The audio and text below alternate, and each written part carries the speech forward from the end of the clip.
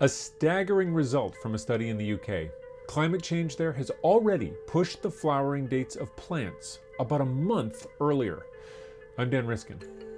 People in the UK have been taking notes on wildlife for centuries, and one of the things people tend to write down is first flowering date. And it's as simple as it sounds. The apple tree has its first flowers of spring, you write down what day it is. Plants know it's spring from how warm it is, so it's not surprising that as seasons have gotten warmer, plants have been flowering earlier. But the magnitude of that shift is a shock.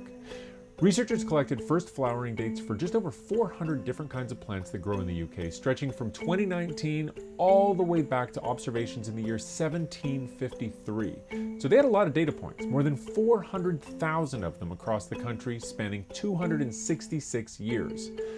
And what researchers found was that if you compare all the years up to 1986 to all the years starting in 1987, the average plant's flowering date has shifted almost a month. 26 days. And that's the average across those 400 plant species. Some of them have shifted even more.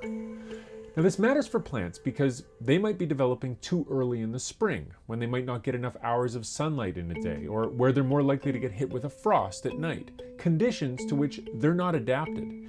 But it's not just about the plants themselves. This impacts animals that rely on plants.